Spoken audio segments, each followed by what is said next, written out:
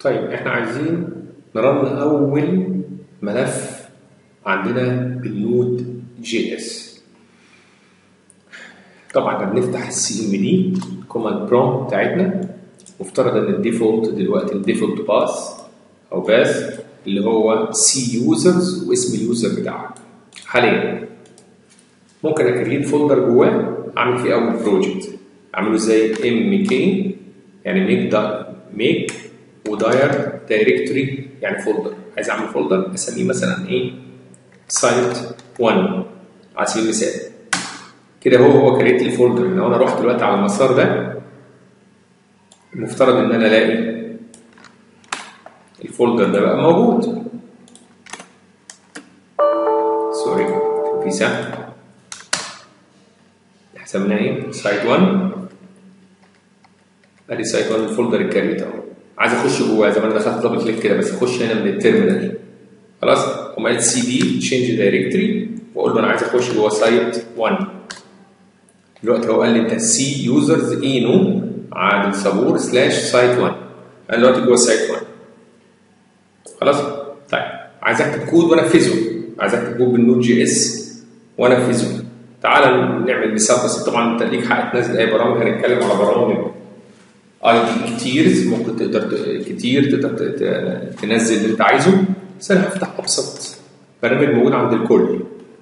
Notepad في ال Notepad دي هكتب أكني بكتب JavaScript عادية. var. variable أسميه message وكتبت جواه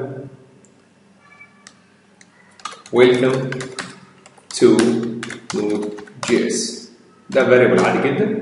عايز اطبعه في ال console هقول له console dot log أطبع لي ال message دي ال variable ده. طبعا المفترض ان أنا بتكلم مع ناس عندها experience بال JavaScript file save as لازم أسيب ال file ده أسيبه جوه ال folder اللي إحنا create ناه site 1 ويفضل UTF 8 عشان لو في كاتب حاجة عربي ولا مشكلة ولا بتاع. واسمي ال file ده مثلا؟ file 1 dot js طالما إن الامتداد بتاعي dot js يبقى عارف إن هو JavaScript له save أنا خلاص بس ال variable بتاعي كده خلاص. وعايز من ال terminal أ run الإيه؟ البرنامج بتاعي البسيط ده من هنا. عشان ه run حاجة بال Node لازم أقول node. node.